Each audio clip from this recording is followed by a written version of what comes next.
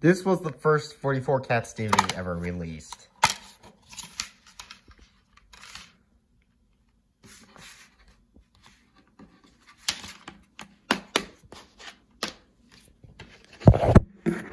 Send the camera down so I can put the slipcover casing in. So yeah.